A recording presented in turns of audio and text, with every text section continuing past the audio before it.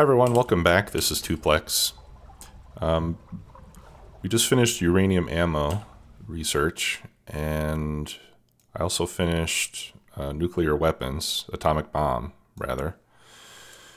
Um, so we've gotten pretty much every technology unlocked. Uh, the only thing left for us to do at this point is to finish doing a few damage upgrades.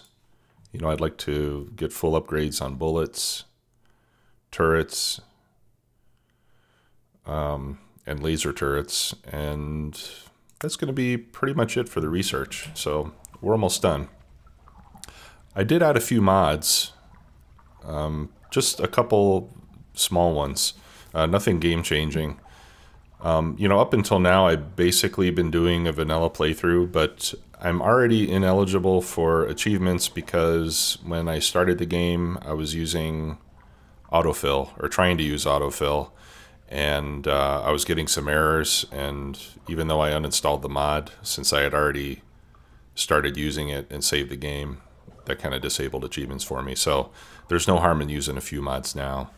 Um, the ones that I installed, um, the first one is called Resource Labels. And basically what it does, it's running right now. You hit Shift G and it'll go over the explored sections of the map and it will add an icon and if you decide to, uh, a label to all the resource patches that are revealed on the map. Uh, when it's running, it's a little bit slow. Um, apparently the script is somewhat intensive. Um, but it does highlight pretty well on the map where all of your resource patches are. Now with vanilla settings, uh, one thing I don't like is that, you know, for example, here you see stone and there's a couple uh, small chunks here and there where the where the resources are not all in one patch, so you end up getting multiple labels um, next to each other. But when you have large contiguous patches like this, um, you know, you get the icon and a and a number. Like like over here, I just have apparently I have one little chunk of iron left that only has 90 pieces of iron ore on it, and it ended up putting a label. So um, that's a little bit annoying. You can delete those if you want. Um, but I'm going to leave it running for now. Uh, I think it's looks like it's pretty good. Uh, this does work better on a map that uses RSO, where you just get big patches with no little bits and pieces uh, around here and there. Um, and then if you want to get rid of the labels, you can just hit Shift H and it'll remove them all. So uh, if we decide not to use them at some point, we can just do that to get rid of them. I'll add them back in later on. Uh, the other mod that I added was uh, vehicle steering, or vehicle snap, I believe it's called. Um, yeah, I'm not going to see it there. Yeah, I think it's called vehicle snap, and uh, that helps with the steering of your cars to help keep it in a straight line. So basically, if I, uh, you know, if I change direction, it'll keep me going straight up and down or straight left and right. It looks like it works in 22 and a half degree increments. Right, so if that's zero degrees, then it can do 22 and a half degrees, it can do 45 and so on. Uh, so that'll come in handy as well and hopefully prevent me from running into stuff. Uh, okay, that's all on the bullet damage. We can do bullet speed. Uh, and then the last, the last one that I did uh, is a mod called Nixie Tubes. And I really like this one. Uh, this allows you to add uh, to add a display that uh, you can configure to display numbers or letters.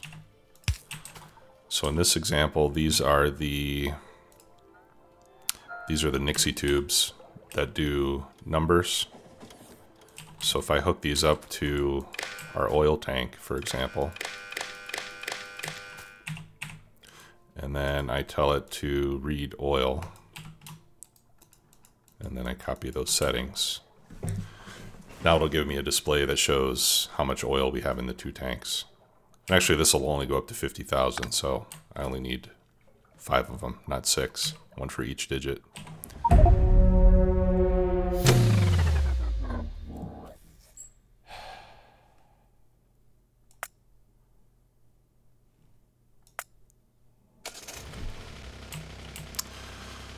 Okay. Sorry for the moment of silence there. I was debating whether I should just start this recording all over again, but um, I guess I didn't. I didn't fall too far behind. all right. So as I was saying, so we could configure a display here, for example, to show how much oil we have in the tank. All right, you set this to oil. Um, the condition actually doesn't mean anything. You just set what it is that you want it to count and then set them all to the same number and it'll display the contents. Um, and then there's an alpha Nixie tube as well. Uh, for this one, you need to use combinators.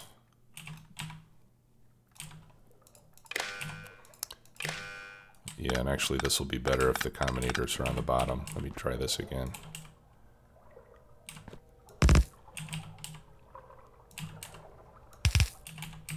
All right, so you hook um, you hook a constant combinator up to each one. Whoops. And then you can set these to a letter or a symbol. So in this case, we can say OI L.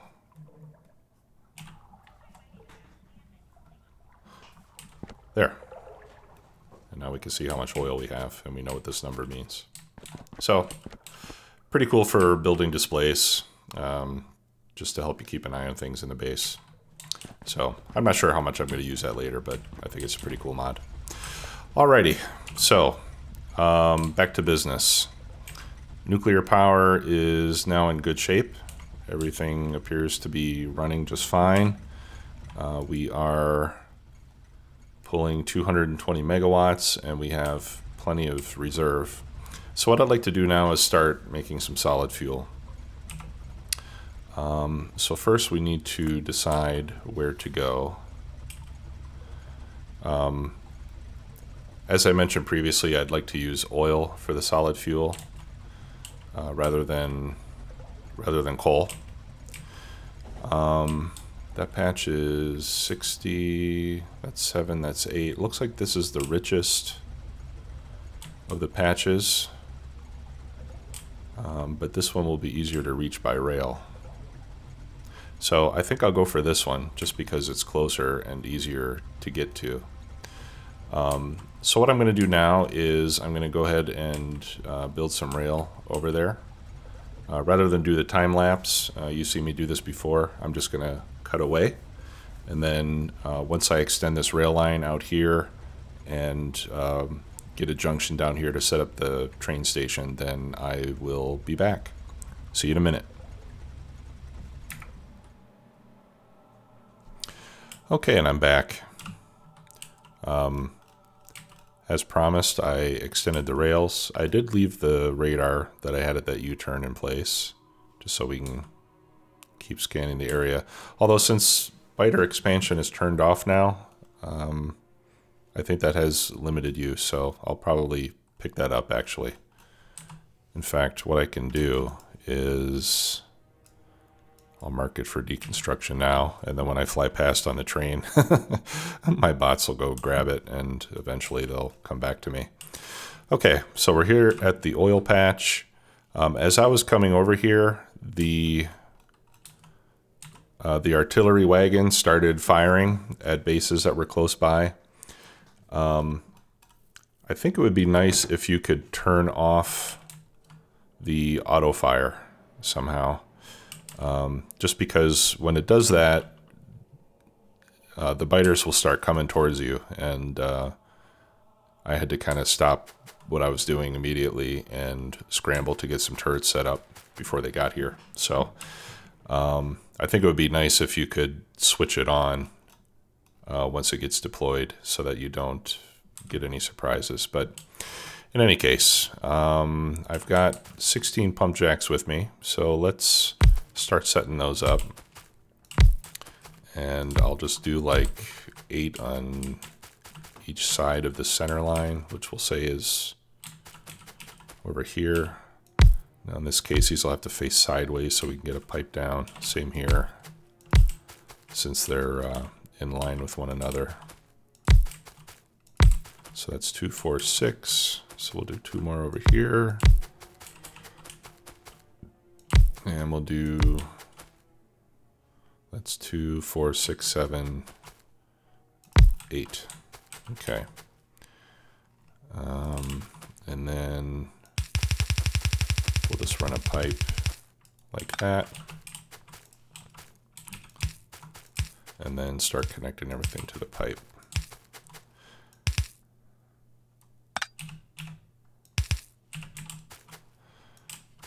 Now, um, I noticed that I wasn't at my main base long enough to get more pipes, or maybe I used maybe I used up some of the pipes when I was crafting the pump jacks. So I'm gonna have to run back to get more pipe pretty soon, but um, that'll be another cut in the video, so you don't have to wait for me to go back and do that.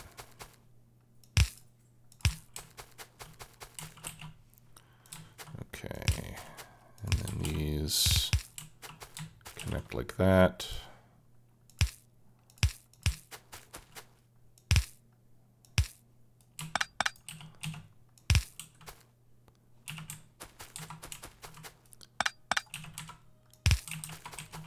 Actually, I could probably craft some pipes while we're doing this.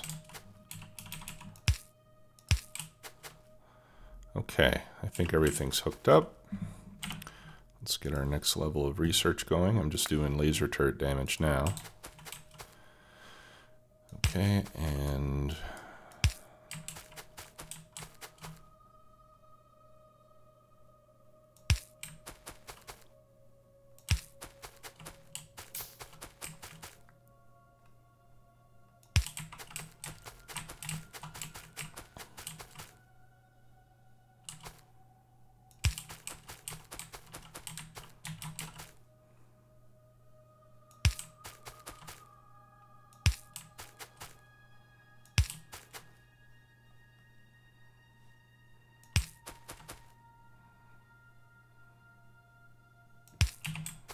There, everything's connected. So this is the payoff for all that uh, coordination of the of the lines there. You get nice grid patterns when you look at your power grid on the map. Okay, and then we'll put one of these there. And then I want to put these into a tank which we could place right there. All right, how we doing on radar coverage? Uh, we should have another radar down here, which we can put right there. A couple of turrets. Actually, let's put one there. And then we should put another turret over here someplace, so just so we get the whole region under turret coverage. Um, I think once we get solid fuel started, I'm going to start making laser turrets so we can start replacing these with lasers so that we don't have to worry about resupplying with ammo. Okay, um, so I'm just going to build a quick U-turn down here so I can get turned around.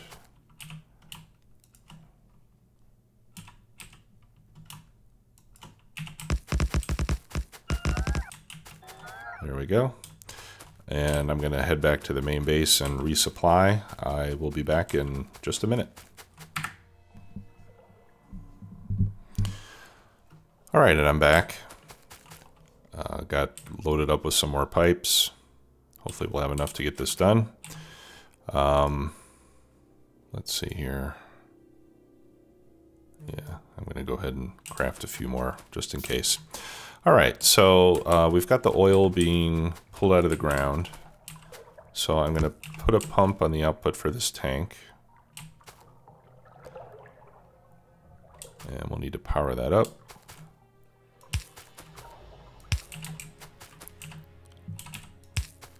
and I'll pump it up here and we'll set up the production here. Uh, get a little closer to the main line so that the train doesn't have as far to or to travel. All right, so um, I'm not sure how much I need at this point, so I'm just going to start by setting up eight refineries. Um, one thing that we have to decide is whether to use basic or advanced oil. Uh, basic oil processing will give us 30 light oil from 100, and advanced will give us 45. Uh, so I think we definitely want advanced oil processing. Um, and the reason for that is that light oil can make twice as much solid fuel as heavy oil or petroleum can. So we want as much light oil as possible. Now heavy oil, obviously we can crack into light oil. Um, actually, let's take a look at that. So advanced gives us 55 oil. Ah, yeah. Actually, let's uh, let's do basic. Reason for that, even though we get more light oil directly with advanced oil processing, our total, well, let me think about this again. 30 heavy we can convert into 30 light. If we crack heavy into light, no, we can't. Heavy into light takes 40 heavy, and that'll give us 30 light.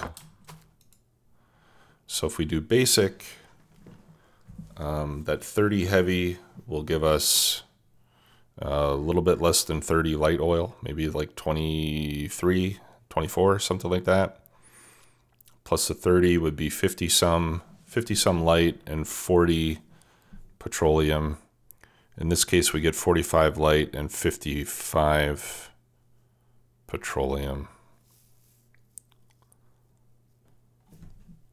Let me get my calculator. All right, so the 30 heavy times 4, or no, 30 heavy times 3 divided by 4 because of the ratio on heavy to light. That gives us 22.5 plus 30. So that's 52.5 light and 40 crude versus 45 yeah, and then 55. You know, that heavy will turn into about seven and a half. So we'll end up with the same amount of light oil and actually more petroleum for the same amount of crude oil if we do advanced. Yeah, so advanced is is the better way to go here. All right, uh, laser turret damage is done. We got a couple levels of laser turret shooting speed we can do, so let's work on that. Let's get these refineries hooked up to power. Uh, we're going to need to bring some water in.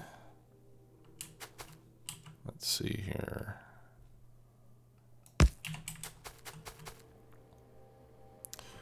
Okay, and this oil is in exactly the wrong place. So let's just shift it over by three. That's kind of a bummer. All right. So we'll hook up the oil first. And then the water. And this is pretty much the same thing that we did over in the main base. And then we hook all these oil lines up. And looking at the mini map, it looks like we do have some water sources not too far away. Let's see. Uh, looks like this body of water is the closest.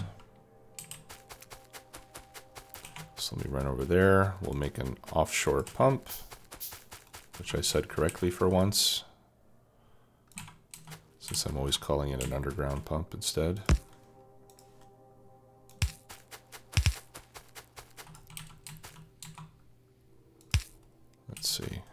Go one more underground pipe length. Well, let's go up two more. And then we'll cut over.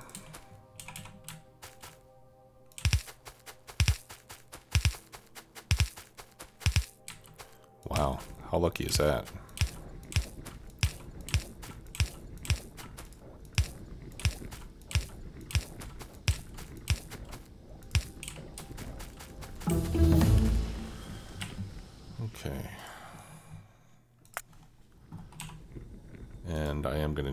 Pipes. I'm almost out.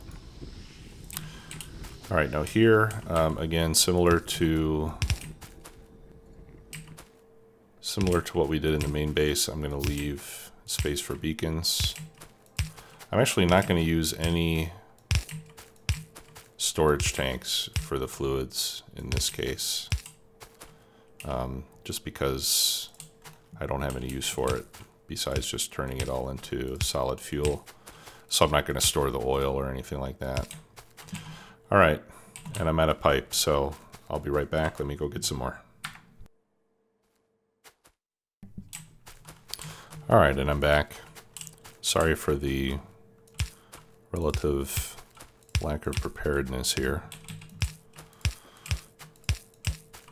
Didn't have quite enough pipe in my logistics requests, but uh, I think I got enough to finish this off now. Let's see, so we need one, two, three spaces. Is that enough? Yes, it is. All right, that's just enough for a beacon.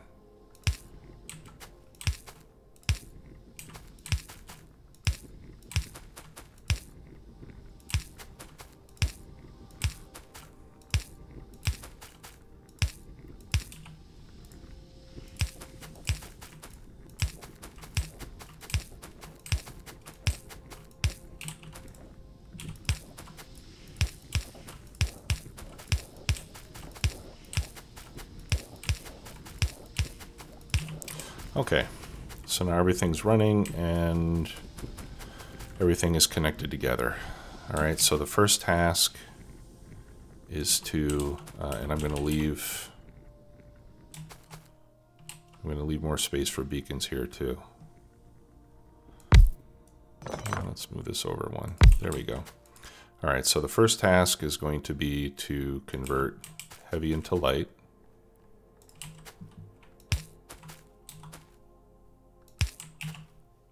Perfect. And let's um, get our water up there.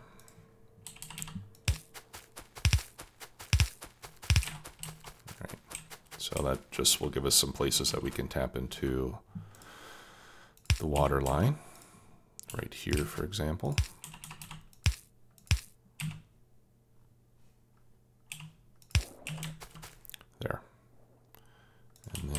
Some power.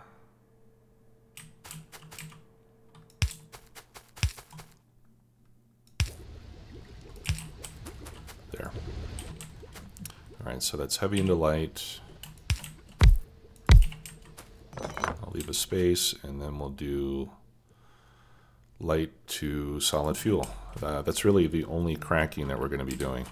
Now let's just check our ratio. This does 40 heavy oil every three seconds at a speed of 1.25.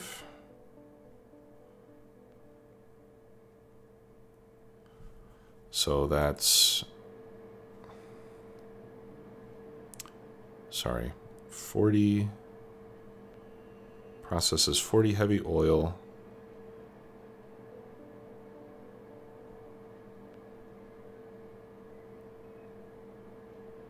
That's 10.67 per second.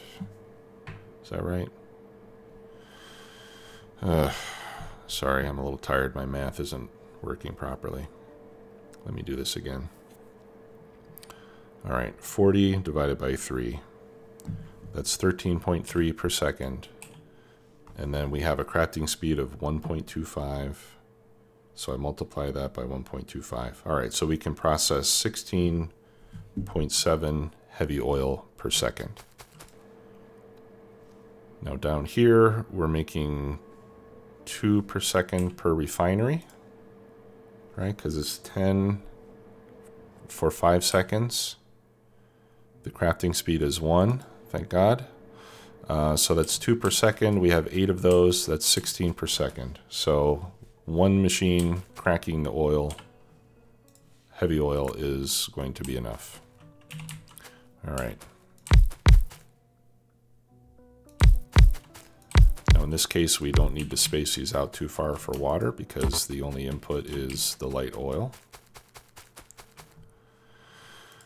All right, and then we need to do that to get that light oil down here. And we can just run a pipe all the way across like that.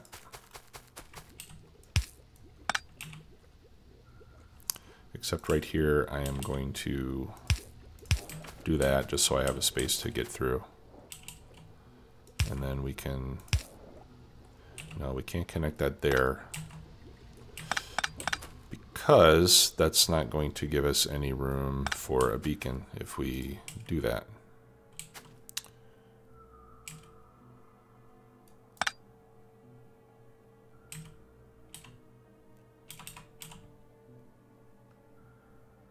So I think what we could do is, no, because that's got to connect.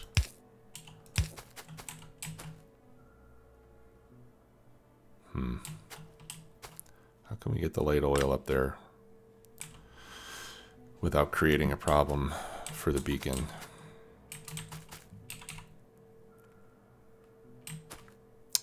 I don't think we can unless we come out the side. Could do that. Let's see how that works. We could come out the side like this.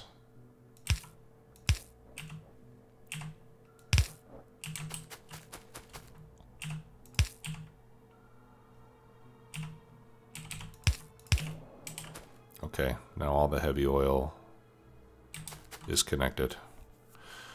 Okay, so let's get these powered up.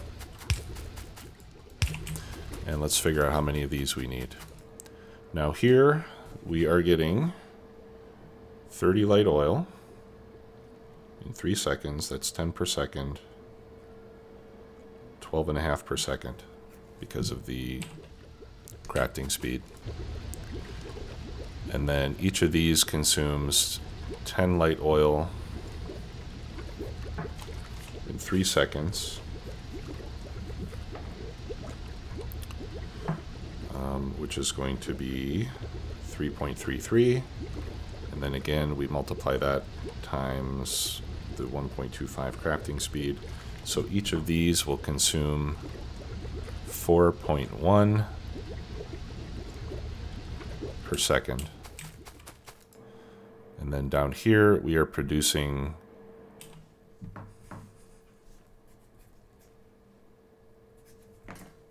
Sorry, I was just writing that down. Down here, we're producing 45 divided by 5 times 8. All right, so down here, we're making 72 light oil per second plus the 12.5 from the cracking. That's 84 and a half light oil per second. And then we divide that by 4.17. All right, so we need 20 of these machines making solid fuel from light oil. We have 2, 4, 6, 8, 10, 12, 14, 16, 18, 20. Wow, good thing I have just barely enough room. That seems like an awful lot. Let me double check my math here.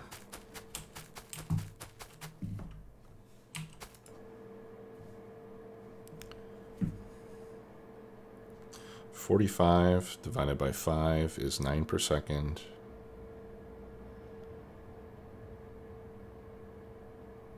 Times eight machines, that's seventy-two. No, I don't think my math was right. Plus another twelve point five. That's 84 and a half.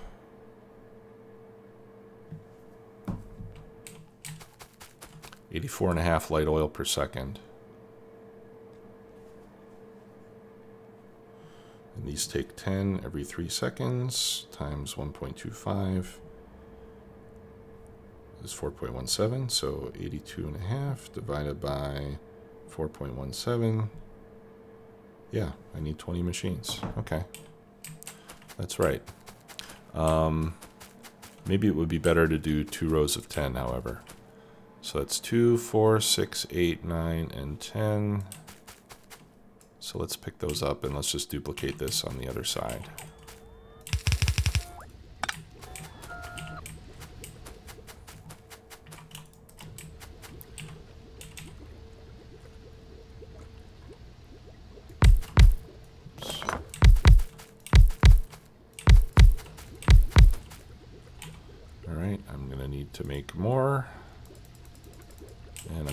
Of chemical plants.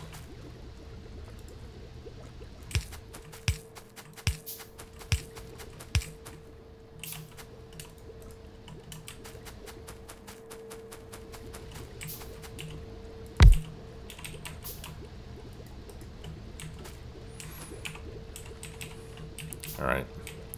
And I'm probably going to need uh, blue belts over here.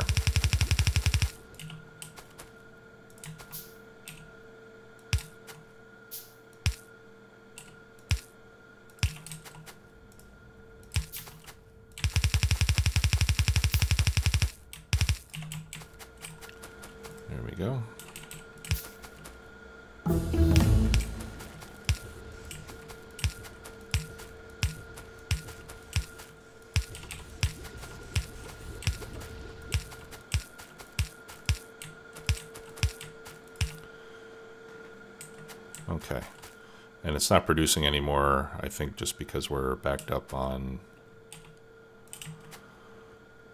on petroleum. All right, so let's figure out what we need for petroleum. Um, all right, cracking petroleum uses 20 petroleum gas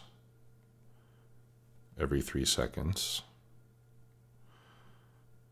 times 1.25. So it's going to consume 8.3 petroleum per second